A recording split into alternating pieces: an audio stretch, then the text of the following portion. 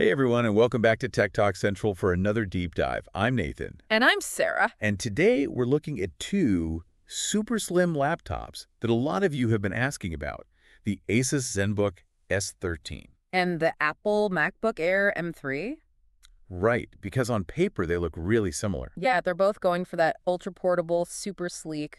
but there are definitely some key differences Yeah. that you need to know about before you decide which one is right for you. Exactly. So, like we always do, we're going to break down each category, Okay. starting with the design. Now, Asus is making a pretty bold claim with the ZenBook S13, calling it the world's thinnest OLED ultra portable. And it is really thin, just 0.46 inches. Wow. And it weighs almost nothing. Like 2.2 pounds, you'll barely notice it in your bag. Which is pretty important when you're talking about portability, right? Yeah, totally. But the MacBook Air M3 is no slouch in the portability department either. That's true. It's also under half an inch thick. Ah. So they're both incredibly portable. But I'm curious, for you, when it comes to portability, what matters more? Is it that thinness or is it more about the overall weight? That's a good question. I think for me, it depends what I'm doing. Like if I'm traveling, Right. I care more about the weight. Makes sense. But if I'm just carrying it around, you know, from meeting to meeting, Sure. then the thinness is probably more important. Okay. Well, let's move on to something else that's pretty important, uh, the displays.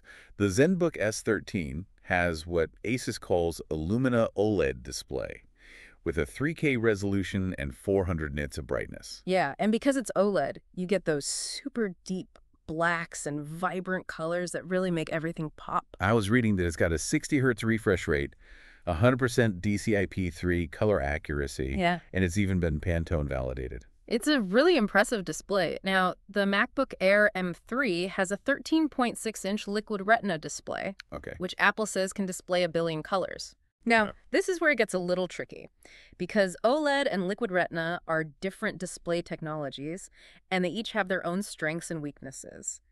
OLED is known for those incredible blacks and contrast, Yeah. while liquid retina, which is a type of LCD, tends to be brighter and have a wider color gamut. So it really comes down to what you're looking for in a display. Yeah, like if you're a photographer or video editor, you might prefer the OLED for its color accuracy. But if you're someone who's going to be using their laptop outside a lot, Mm-hmm. you might want that extra brightness that you get with the liquid retina display. Exactly. All right, well, let's move on to the brains of these machines. The ZenBook S13 is packing the latest Intel Core Ultra 7 processor, the 155U, Okay. which can get up to 4.8 gigahertz. Wow. It's also got 12 cores, 14 threads, 16 gigabytes of RAM, and a 512 GB SSD. Yeah, and on the other side, the MacBook Air M3 has Apple's M3 chip, which they say is the most powerful chip they've ever put in a MacBook Air. It comes with an 8-core CPU, and you can choose between an 8 or 10-core GPU. And it's got that unified memory architecture. Right. With 16 or 24 gigabytes of memory, and you can get anywhere from 256 gigabytes of storage all the way up to 2 terabytes.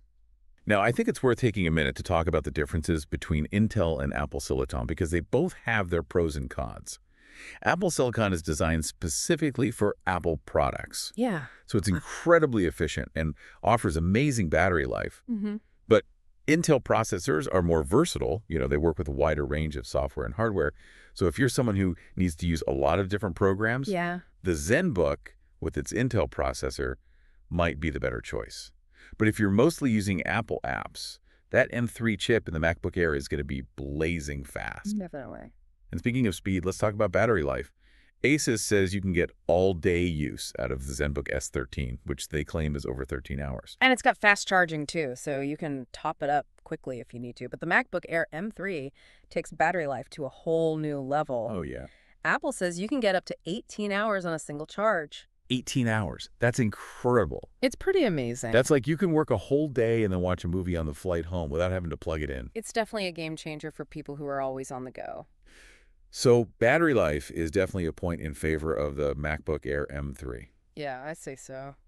But the ZenBook S13 has some other pretty cool features too, like it has a Windows Copilot AI key. What is that?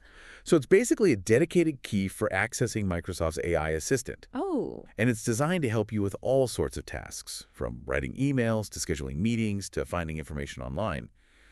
The ZenBook S13 also has military-grade durability, wow. so it can withstand drops, bumps and extreme temperatures. That's impressive. And it has Harman Kardon speakers with Dolby Atmos. Now, the MacBook Air M3 also has some great features. Like Touch ID for secure login. And the backlit Magic Keyboard. Which is really comfortable to type on. It's also got a Force Touch trackpad and a 1080p FaceTime HD camera. Mm -hmm. Plus, it has a 3 mic array and four speakers with spatial audio.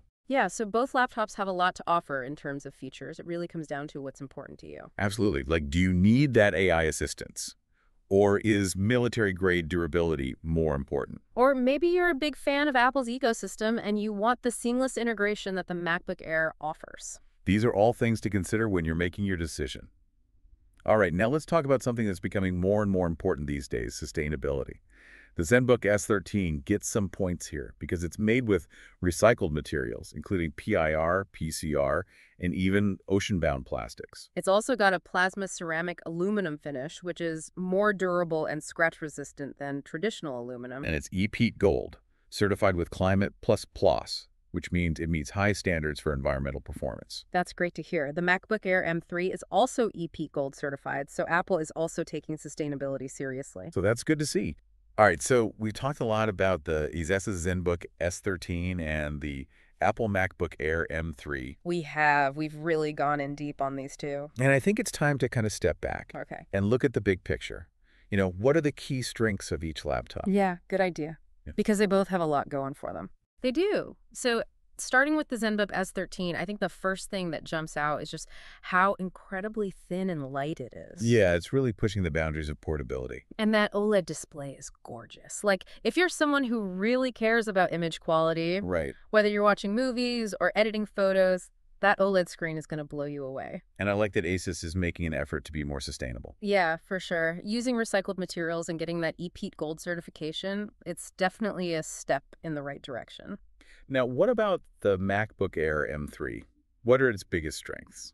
Well, for me, it's the performance and the battery life. Yeah. That M3 chip is a real powerhouse, and the battery life is just phenomenal. I'm still amazed by that 18-hour claim. I know, it's hard to believe, right? And if you're already using other Apple products, that seamless integration with the Apple ecosystem is a huge plus. Absolutely. You can easily share files between your iPhone, your iPad, and your MacBook Air. It all just works together seamlessly. So we've got the ZenBook S13, which is incredibly portable, has a stunning OLED display, and is made with recycled materials. And then we've got the MacBook Air M3, which offers blazing fast performance, incredible battery life, and seamless integration with the Apple ecosystem.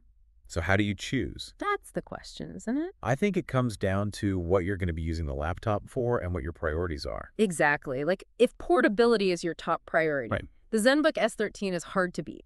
But if you need a laptop that can handle demanding tasks and last all day on a single charge, then the MacBook Air M3 might be the better choice. And of course, your budget is always a consideration. Yeah, definitely. Yeah. But I think no matter which laptop you choose, you're getting a really great machine. I agree. These are both top-of-the-line laptops that are going to serve you well for years to come. So to wrap things up, I think we've given you a lot to think about. We have. We've covered the design, the displays, the performance, the battery life, the features, the sustainability, and the price. We've looked at the pros and cons of each laptop. And hopefully we've given you the information you need to make an informed decision. Now it's up to you to decide which laptop is right for you. And if you're still on the fence, I always recommend checking out some in-depth reviews and videos. Seeing these laptops in action and hearing what other users have to say can be really helpful. And don't forget to think about the software you use most often, the accessories you need to connect, and of course your budget. All those things factor into the decision. But at the end of the day, the most important thing is to choose a laptop that you're going to love using. Absolutely. One that's going to make your life easier and help you achieve your goals. So that's it for our deep dive into the Asus ZenBook S13 and the Apple MacBook Air M3. Hopefully you found it helpful. And if you did, don't forget to like this video and subscribe to our channel for more tech deep dives. And be sure to check out the links in the description below for the latest prices and deals on these laptops. Thanks for watching.